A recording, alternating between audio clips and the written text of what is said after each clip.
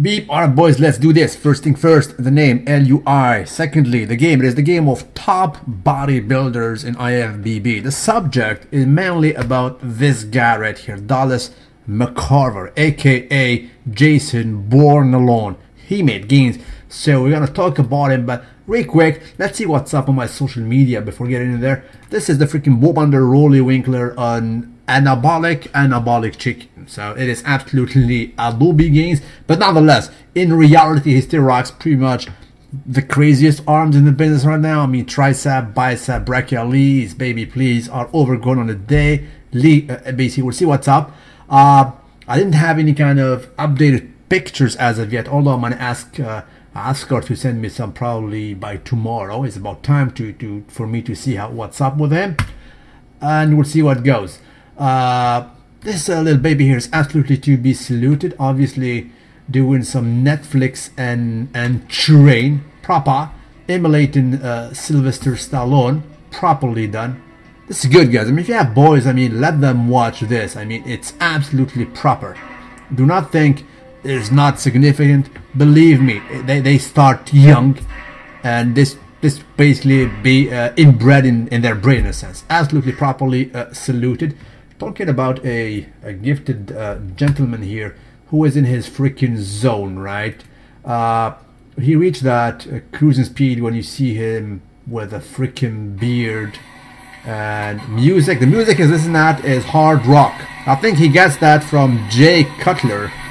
Uh, and Jay Cutler is pretty much probably the only guy, the closest guy to him in the IFBB. Although he's not competing anymore, but I think genuinely his it's his real friend. He does not have a lot of friends uh, out there, right? Now, needless to say, uh, let's not beat around the bush. Uh, Phil Heath, the current Mr. Olympia, five times in a row, most likely to be uh, six times in a row, is an arrogant mofo. Phil, you watch my video, I salute you on a daily, bro, but you are cocky and arrogant as hell. But then again, can he back it up? Can he back it up? Damn right he can. He's up there. There, all eyes are on him, and you know what? The the guys running after him, they don't like him. There is no love up there, right? And it's just uh, exaggerated and blown over proportions because everything is exposed nowadays via social media. Everything he does is scrutinized and made bigger by yours truly, Lui Marco, and all the other outlets out there.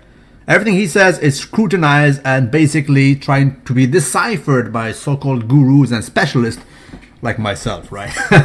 yeah, jokes aside, yes, Phil Heath is a freaking cocky, arrogant mofo.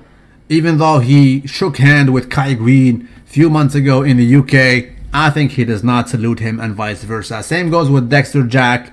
Same goes with, with Shawn Rhoden and uh, so on and so forth. Everybody's gunning for his title. Uh, bro, last time I checked, it's an individual sport, right?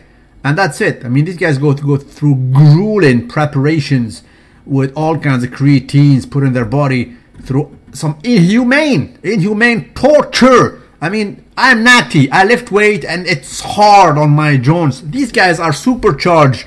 Imagine or, or the tension or, or, or, or, or, the things that plays also in their head. Because whatever creatine they're taking, it plays on your freaking psyche, bro. You know the thing starts with T and there are. That is not made for human. It's not even made for humans. These guys must take it. They cannot roll only with with the, with with test, right? It's not sufficient. It never was sufficient. It's not even sufficient for physique guys. So imagine these top guys what they have to take. So of course it's gonna be hard on their physique and in their mental, plus all the pressure that our, we are basically putting uh, on on their shoulders. So yes, Phil Heath is a freaking cocky, uh, arrogant mofo. But you know what? Deal with it. It's a known fact, right? He reached the top. Can he afford to be like that? In my book, yes. That it is what it is. I'm not gonna lie. I'm not gonna basically sugarcoat it. No, he's a cool guy, whatever. Phil Heath is an arrogant, cocky champion. But that is a champion that comes after that arrogance and cockiness. It is what it is. I'm sorry, guys. He backs it up. I mean, what he says is kind of harsh, it's kind of direct, it's kind of in your face. He said, line them up, I slay them all. Just like freaking sheeps, I slay them all. Bring them. Just like bring it. It is what it is. Like a combat sport. Right? And Kai Greene, last time I checked, he's not there. So if all goes well, if he does it, I'm sorry. The very metrics of the other guys cannot beat him, even if they bring their A game.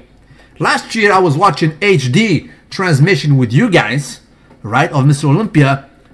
I'm hearing Palumbo saying, bro, this is big for Dexter Jackson. Uh, he was saying, bro, Shawn Rhoden uh, is better from the side. I was like, really? What are you guys looking at? Romano was saying the same thing. But to be noted, when they were all wrong, after when they did the wrap up, right? Romano came back. He said, bro, after all, I do believe that it is better for us to watch Mr. Olympia from home in HD. We have a better perspective. And you know what? I guess he is absolutely right. I agree. I personally, if I go to Mr. Olympia, probably I would suck. I won't, I won't have like the proper perspective. Nowadays, uh, it's better, I mean, for me, to stay away from the drama and have a proper HD, uh, basically, transmission. And you can sip your freaking uh, protein shake and have a proper perspective. It looks like you're an IFBB judge and you see it right. So that's it. If these guys bring their A game, I'm talking about these two, two top guys because I'm not gonna, you know, that's not you know, I'm not talking about uh, whatever. Big, big, big Ramy, Big Ramy, I have him. I still have him fourth. Whatever happens, Big Ramy fourth, unless another another guy gets crippled, unless Shawn Rhoden shoots himself in the foot or Dexter does the same thing. So that being said, Dexter and Sean are the two biggest threats right now for Phil Heath. But if these three bring their A game, I still think that Phil Heath has triple A plus. It's just he is just unbeatable in several metrics. He doesn't fade at the end. Last year Dexter was second, but he was flat at the end. Flat. He was not even funny, right? That's what's up. Uh, we'll see how uh, uh, how it goes. But yes, to answer your questions, Phil Heath is uh, absolutely cocky, and he is absolutely in your face. He is arrogant. It is what it is. But you know what? Deal with it. Can he afford to be like that? In my book, yes. Proceed, haha, uh, shall we? Right? Uh, we had this happened actually, I think in the US, it was in NYC. Right? Finally, a freaking white guy, or at least light skin, I think he's light skin, was about to win a, a race actually versus three black guys. Next thing you know, he hit a Chinese, a baby please, on a nightly basis. Absolutely not to be uh, saluted. Look at that. She had one job. She had one job. Boom. There we go. It was about to make history. A white guy beating three black guys in athletics. Absolutely not to be properly uh, uh, saluted. Proceed, uh, shall we? This was a known video, quite old, but still cringe-worthy. Still cringe-worthy for real. And uh, why? Because he's being trained by a so-called uh, trainer. I'll let you be the judge. Please be seated because his back is absolutely not loyal. Level salute is absolutely spinal. Spinal. Mike Tyson way.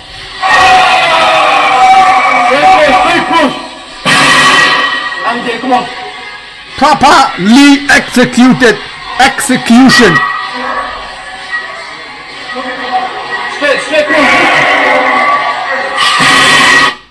That's it. Cringeworthy on a nightly. Uh, uh, uh, bruh.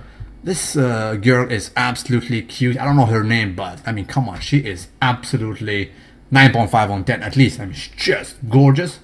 Uh, she played in the latest movie, as you guys know, with a Joker. I didn't know that the Joker became a Joker when he, he basically fell into like a chemical potion. So she has the same chemical composition as uh, her mate. Proceed, uh, shall we? Let's go to Persia. Salam, Hobi, you need to eat some uh, kebab day. Uh, again, the level of salute is absolutely uh, spinal. Uh, you know, I read Arabic, which is the same letters as um, as Persian, but then I mean the words are absolutely different, so I I cannot understand all of it. All I can understand is uh, Haidar Amirul Mu'minin. Uh, you know, the the uh, the Shia faith basically believe that Haidar is uh, the uh, the commander of the believers. I think that Haidar is the, the second name of Ali. Ali. Anyway, let's take a look at uh, this Iranian Persian guy doing some uh, dips, I guess. I presume, presumably on a nightly. Salam, Khobi.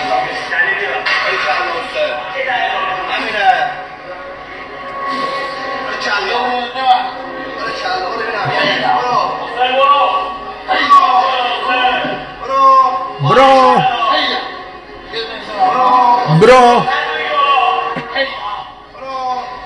Haidar! Haidar! Yeah, Ali, yeah, Hussein. Proceed, shall we? In my book, bro, I absolutely uh, salute your uh, uh, your uh, dedication, Mr. Persian, but your gains are not loyal. Your spine will not uh, salute you, uh, not even slightly, not even lightly, bro. Proceed, shall we? Though we have a Caucasian dude, uh, I think he was from Germany, uh, nightly, uh, doing this kind of rose in a proper uh, special fashion. Boom! Bro, what the hell is this? Your bench is not loyal, it is oil! Oil! Not saluted! Absolutely no uh, salute is bestowed uh, upon you. Talking about uh, Germany, uh, the Olympic team actually, uh, we're not allowed to uh, to broadcast Olympic as you guys know, but for the record, Germany beat Portugal 4 to 0. But it's not uh, actually the teams who were in the Euro. Those are like, I think, um, under 21. Nonetheless, Germany is absolutely to be Merkel. Talking about oil, talking about oil, this guy actually was put on the spot when he had some beef with actually Boston Lloyd. My friend Boston Lloyd, I salute you. Some people call him Boston Royd. I call him Boston Oiled. Boston Oiled. Absolutely 3cc on it daily. Uh, pretty much he had some beef with them because as you guys know, about three years ago, Boston Lloyd came in on social media on YouTube and he started to talk about like the real stuff, all the creatines, all the vitamins and glutamines that the pros supposedly take. It was after his win in Contra Costa. Now, granted, it's not an IFBB top show, but you know, it was a uh, you know like a respectful, respected show in the West Coast, and you know, it was like the first time like in uh, a bodybuilder, young for that matter, was like 19, speaking um, openly about it, and then uh, Mr. Dallas uh, McCarver has been asked actually on a magazine, bro, what do you think about that dude, Boston Lloyd, going on social media and talking about all these chemicals and this and that? Of course, I mean, Dallas McCarver was an upcoming prospect. Of course, he needs to be politically correct.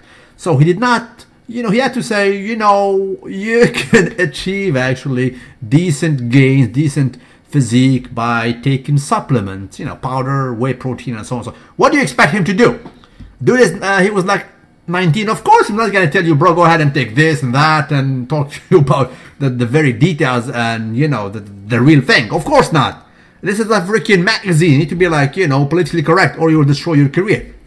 Next thing you know, Boston Lloyd came back on social media. I told him, bro, your butt is oil. Your butt is oil. So he told him that basically Dallas McCarver has uh, some synthol or whatever in his butt.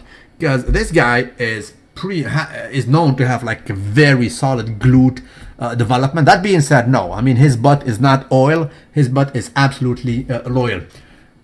Anyway, uh, I'm liking Dallas McCarver, 24 years old. I'm really liking uh, him. I mean, 299 in this picture, 34 days out, Mr. Olympia.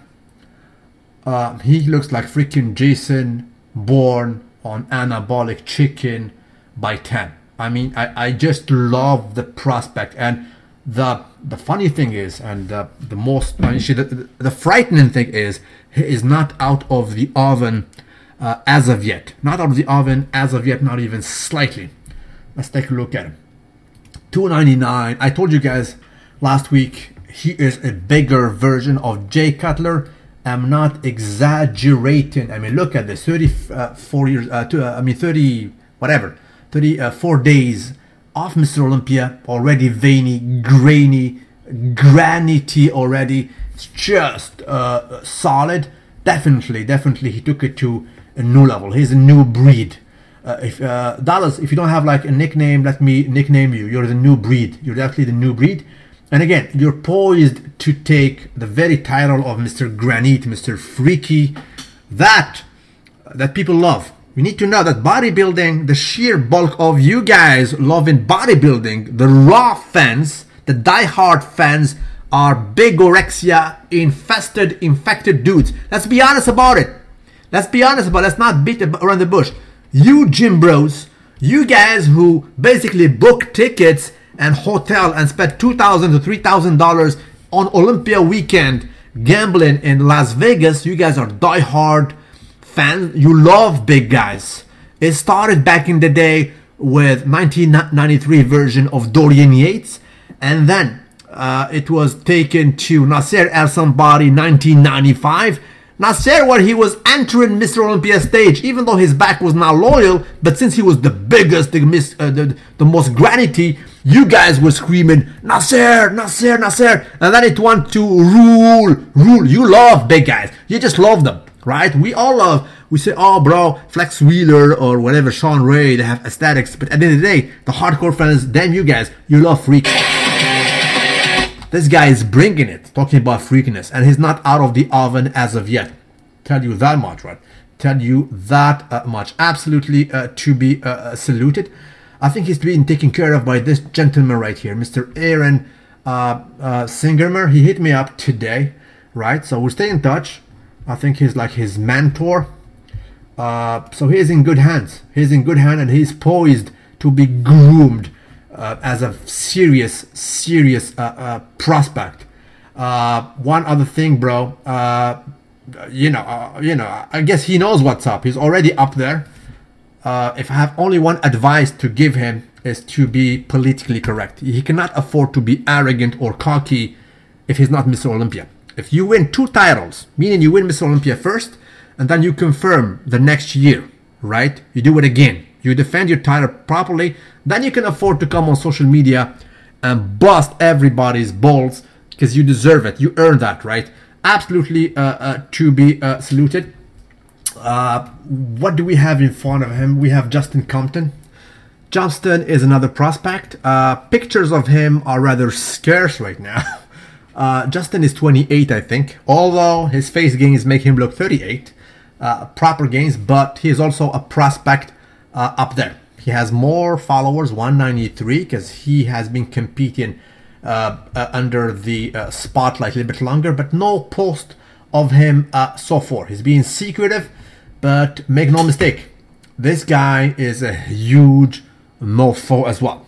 So he is part of what I call the trinity, the holy trinity of prospect. The other guy, the third guy, being my friend Mr. Nathan De Asha. See here, only 63,000 uh, followers so far. Believe me, it will go up. It will go up. Now, Nathan nicknamed his name uh, himself as uh, the prophecy. I call him the prodigy, right? This guy is down in Kuwait.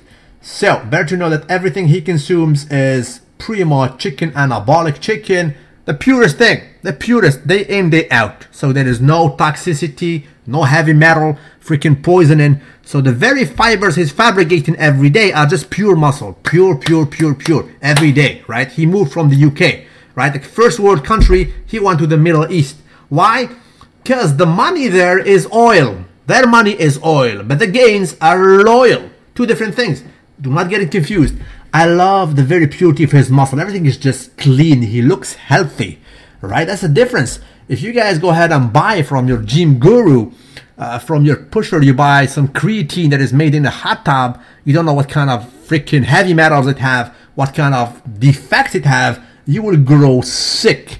You will develop more acne. Your body try to reject that freaking toxicity from the skin more than anybody else. Whereas if you are in Kuwait, pretty much everything is clean. Everything grows uh, properly. Uh, so that's what's up. This is what I call the holy uh, uh, Trinity. We'll see what's up. They're groomed right now.